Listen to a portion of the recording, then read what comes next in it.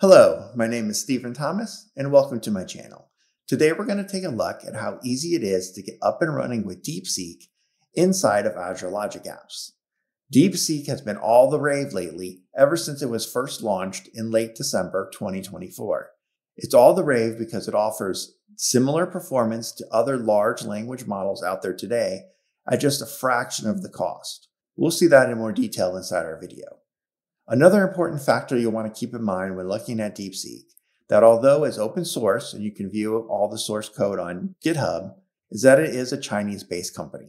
Much like some of the other Chinese-based companies that get a lot of headlines today, this too may be doing things with your data that you might not intend. So keep that in mind when working with this model. With that, let's jump in and take a look at how to get started with DeepSeek. Before we get started, let's talk about why we would want to call DeepSeek from a Logic app in the first place.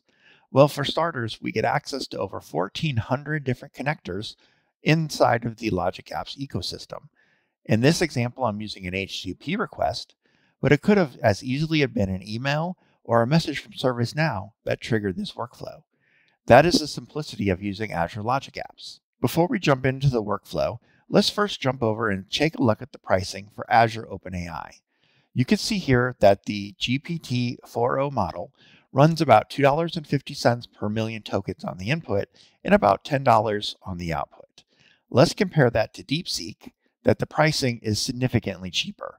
Now, the pricing is going to change on February 8th, but even with the pricing on February 8th, we're looking at 7 cents on the input side and 28 cents on the output side.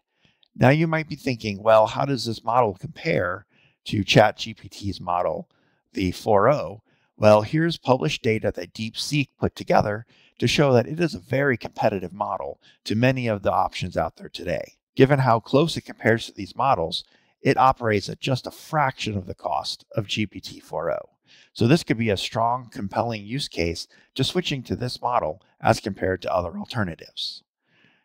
If you're brand new to DeepSeek, it's very simple to get started. All you need is an API key.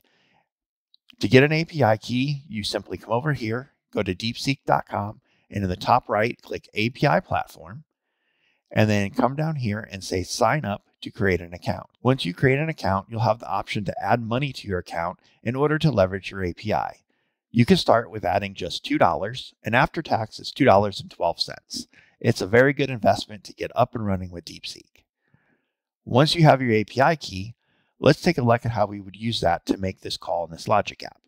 First off, I come here and create a compose shape. And this is just using the input schema that's outlined in the help documentation. But instead of the content being static, I'm reading the body from my inbound HTTP call. Then I simply come down here to DeepSeek and make an HTTP post to their endpoint. I set an authorization header with bearer space my API key. This is your bearer token. That's going to be your API key. I set the content type to application JSON, and then I simply set the body as the output of my compose shape. And it's really that simple. My response message is just going to be the body of the output of this HTTP call. So now let's take a look at how we run this in Postman. I'm going to jump over to Postman, and I already have this set up to the right URL address. And I simply come over here. I'm going to make a raw call of text. And I'm going to say, what is the square root of 49? And see how we go off and complete this exercise. It'll take it just a moment. And sure enough, you have the response here. And it says the square root of 49 is 7. So now this is just an ultra trivial example of showing you how easy it is to set up your Logic app to call into DeepSeek. There's lots of great documentation and other sample videos out there from other resources that go into much more detail of things you can do with DeepSeek. This is just the beginning.